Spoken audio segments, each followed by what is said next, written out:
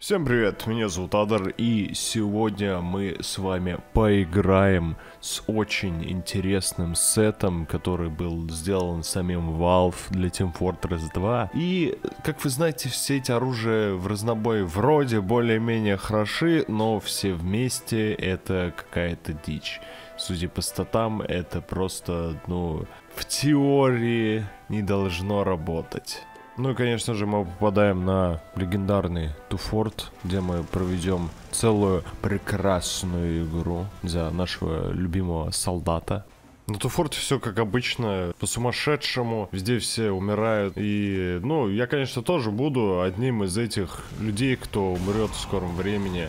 Но не так. И даже не так. А намного тупее. И много раз.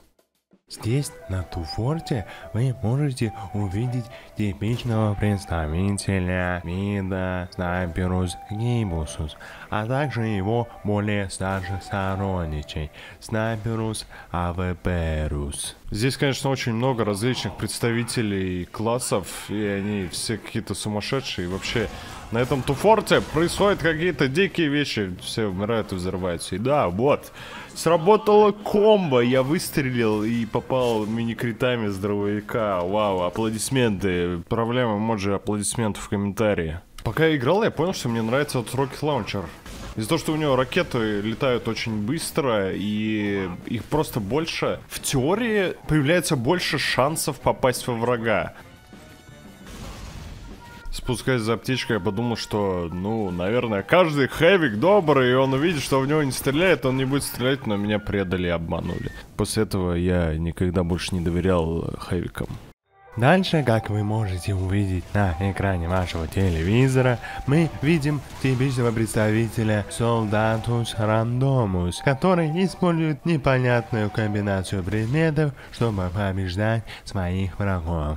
Не, ну я, конечно, пытаюсь все как комбинацию использовать, но, блин, это полный хаос. Туфорт это всегда вот такая дичь. И вот этот пирс сейчас такой просто WM1. Это... Что за вообще фигня? Я, конечно, как и все, обожаю эти приключения в канализации, которые обычно не приводят ни к чему хорошему. Но обычно ты заходишь в канализацию, там какого-то хрена толпа народа. И с одной команды, и с другой. Но вот просто только наши сидят, и я такой довольный. Пью чай.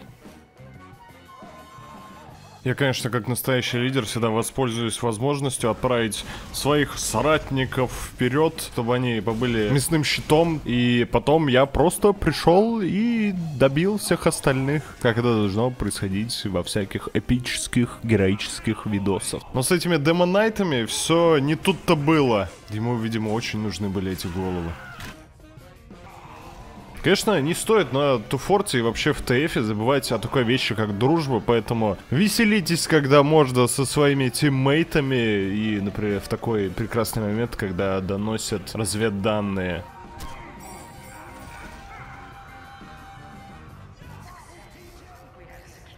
И спустя три минуты видоса вы такие... Адар, а где обзор этого долбанного комбо? Почему ты не обозреваешь эти оружия? А я по ходу игры совсем забыл о том, что я должен был делать, и вообще впитал эту всю атмосферу Туфорта и начал потихоньку превращаться в типичного представителя Туфорта. Борьба с центрями, конечно, это вообще дикая вещь, особенно с этим оружием. 10 ракет пришлось потратить, чтобы просто обычную центре уничтожить третьего левела, ну и все остальное.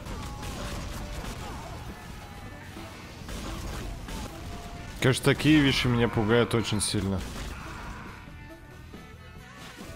Чем вообще занимается этот скаут? Мне кто-нибудь может объяснить? Он просто стоит и зовет помощь, и ничего не делает. И тут я задам вам вопрос. Что же произойдет с Адером? Ответ А. Адер победит. Ответ Б. Адер проиграет. Даю на голосование 10 секунд. Ладно, я солгал. Я не даю времени. Просто смотрите. С каждой минутой люди становятся более сумасшедшими, и, как вы видите, в этом моменте все только катится в какую-то бездну безумия.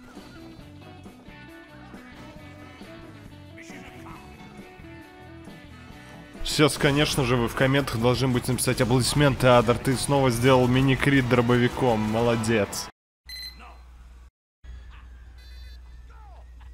Это, кажется, просто какая-то жесть. Играешь, играешь, и иногда тишина разряжается каким-то хохотом из места с разведданными или вообще какими-то адскими звуками из тоннелей канализации.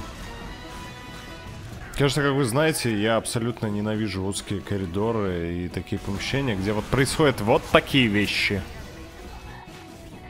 Но вещь, которую я люблю, это обходить врагов и убивать их медиков, а потом просто глупо умирать. В общем, вот в этот момент я понял, что мне нравится этот Rocket Launcher, но только против легких классов. В остальных случаях он немножко не дотягивает по дамагу.